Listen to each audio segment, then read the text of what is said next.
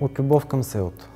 Истина имам една много вътрешна, неконтролируема любов към място, което съм израснал и което ми е пред очите, дори когато не съм тук. И от любов към хората. Харесвам ги и, и ги обичам.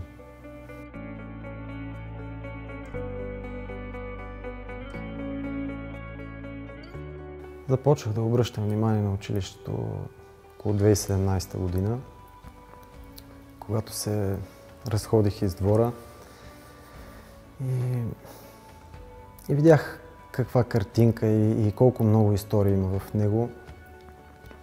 И тогава, тогава исках отново да, да влезна в, в сградата, като, като дете съм влизал. И тогава влезнах в физкултурния салон.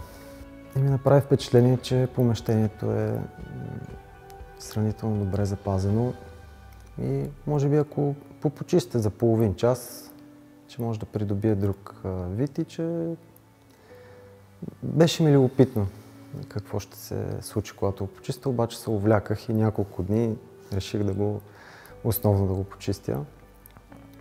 И тогава вече ми дойде идеята, че ако се ремонтира, какво ли би, какво ли би станало? Дали биха идвали хора? Дали ще привлича младите?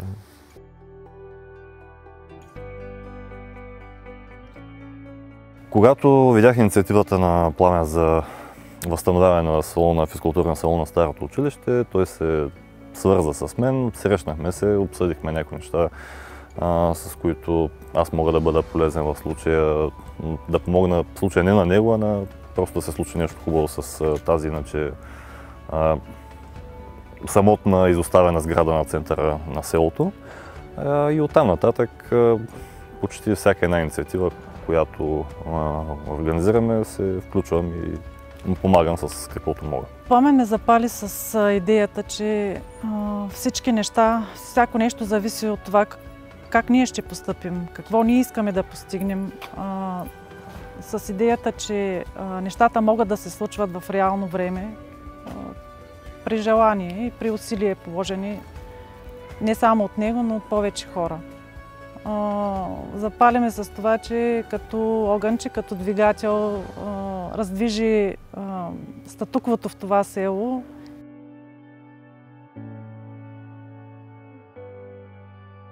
Другата магична сграда в, в селото е читалището. И читалищата сцена е доста внушителна като размери на, за едно село.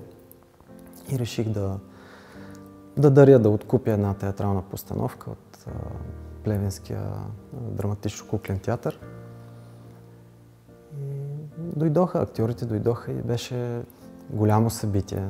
Театър на село не е имало, не знам, със сигурност 15 години, може би много повече. Вътрешна необходимост е пламен да направи нещо за това село. Може би той се чувства много по-свързан с селото, така както се е изкарвал детството тук и има много добри спомени.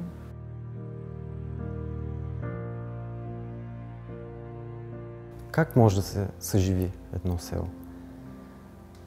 Ако има културен живот, ако има спортни мероприятия, ако се направи туристическа пътека, която да да привлича младите. Все още го вярвам, че когато а, се завърти това колело, защото в началото нямаше колело, а сега малко или много е завъртяно, че тогава хората ще повярват и ще се включат.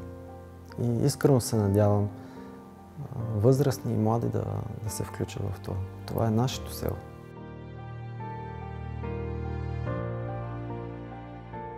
Най-интересното за историята на село Каресен е, че тук се е случило първото сражение на битката на Хаджи Димитър и Стефан Караджа през 1868 година. И това е едно от нещата, с които селото е известно в учебниците по история.